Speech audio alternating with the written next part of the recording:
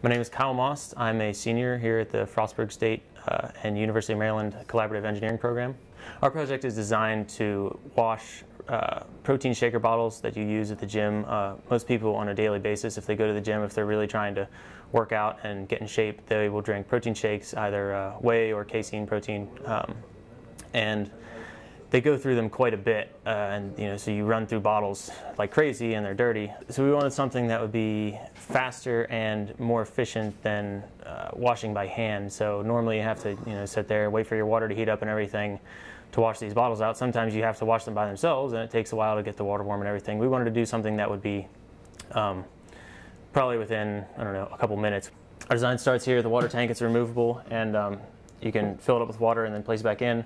The pump right here will pump water through. There's a solenoid to switch um, between the lid reservoir and the bottle reservoir to wash the two. And then there's also a soap injection.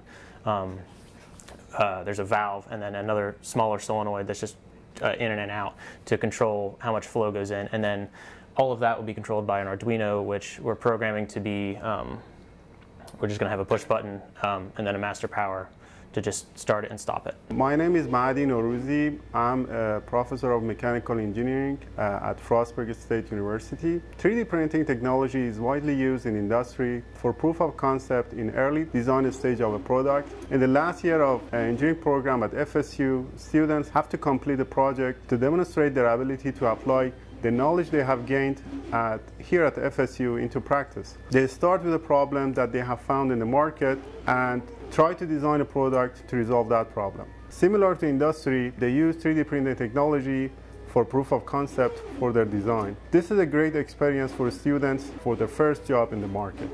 So seeing as there was nothing really on the market aside from a, a conventional dishwasher, um, we had to actually design our parts ourselves. So this is our first iteration here. Um, this was just something we wanted to test, so it's only a partial fill 3D printed, so it's mostly hollow on the inside. And then uh, we ended up moving to this. This is our second uh, prototype design. So we added some flanges to mount everything, and then we added some pegs on the bottom um, so that we could uh, have the drain hoses run out. That's what these hoses are here for. So you can see it just rests like that.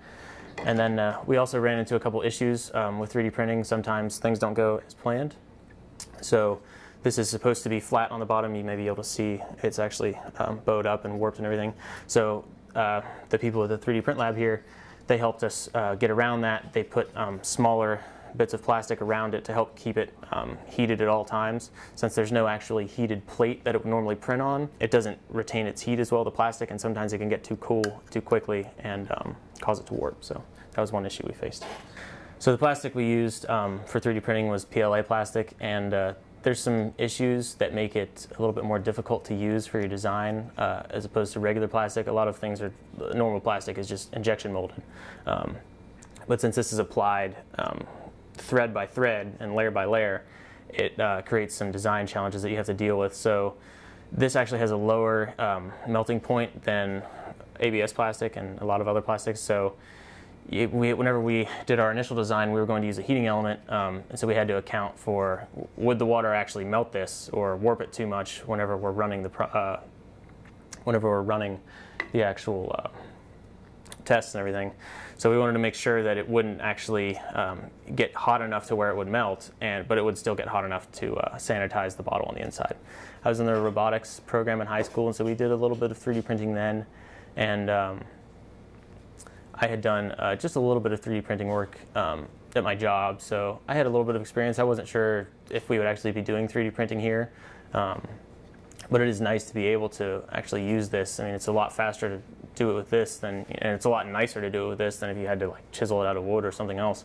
Our final selling design that we would be going for is something that you would place on your countertop, roughly the size of a coffee maker, a large coffee maker like a Keurig or something.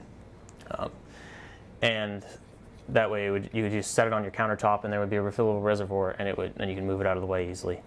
Um, so it wouldn't actually have to hook up directly to your sink or anything like that like a regular dishwasher. So the other members in the group, uh, Josh Tichenal, he worked on the like the hosing and the piping and the pumps and stuff like that, all of the waterworks things.